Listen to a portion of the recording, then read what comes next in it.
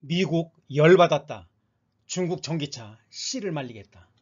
중국 배터리 부품으로 만든 전기차 금융지원 중단, 미 의회, 강경파 테슬라 등 당혹.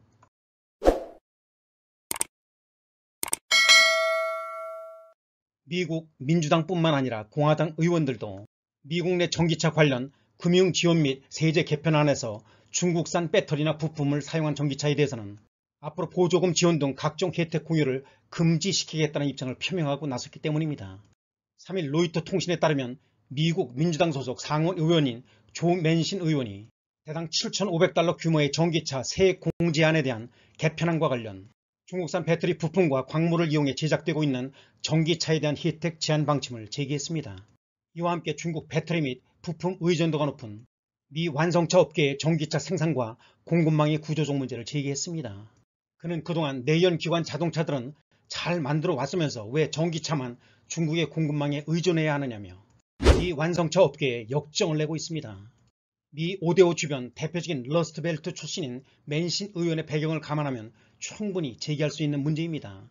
미국 정부의 친환경 지원 법안에 포함된 전기차 부분과 관련 미 민주당은 소매 가격이 8만 달러 이하인 트럭, 밴, SUV와 5만 5천 달러 이하의 세단, 연간 소득의 30만 달러 이하의 가정에 대해서만 신용대출 및 세액공제 지원 대상에 포함시키자는 입장입니다. 여기에 전기차 제조에 있어 중국산 배터리와 부품 비중 등이 일정 비율 이상 초과할 경우에도 지원 대상에서 제외시키자는 것이지요.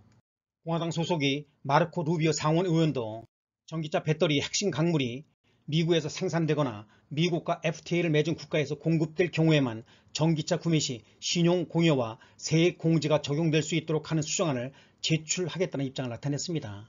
철저하게 미국 주도로 전기차 배터리 분해까지 생태계를 구축하겠다는 의도입니다. 이에 미국 자동차 업계는 원칙적으로는 공감할 수 있는 얘기지만 아직은 현실적이지 않다는 것을 강조하고 있죠. 무엇보다 미 자동차 업계는 단기간에 중국산 배터리 세일과 부품, 광물 연료를 대체할 수 있는 미국 주도의 공급망이 불가능하다는 점을 주장하고 있습니다. 또한 미국 중심으로 전기차와 관련한 탈중국 공급망을 만들게 될 경우 기존과 같은 가격 경쟁력을 유지할 수 있을지도 의문이라는 것입니다. 현재로서 미 의회 내 일부 강경파 의원들의 의도대로 반중국 정서가 반영된 강경한 전기차 지원법 개정안이 의회를 통과할 수 있을지는 미지수입니다. 드러내놓고 반대의 목소리를 내고 있지는 못하지만 포드, 테슬라, 리비안 등 주요 전기차 기업들이 이에 대해 반대 의사를 표시하고 있고 개정안에 앞서 미 의회와 물밑 절충에 나서고 있기 때문입니다. 다만 넓게 보면 미중 갈등의 연속선상에서 현재 미 의회의 전기차 지원법 개정안은 기존보다는 강화될 가능성이 높아 보이죠.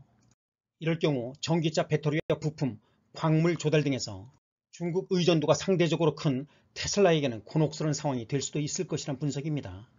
테슬라 모델 구매 고객들의 선택폭이 줄어들 수 있고 또 미국의 반중국 정서가 심해질수록 그와 비례해 중국 내 반미 정서도 높아져 중국 내출 비중이 현재 50%에 육박하는 테슬라는 악재로 작용할 가능성이 크기 때문입니다. 지금까지 시청해 주셔서 진심으로 감사합니다. 카리스마 코리아였습니다.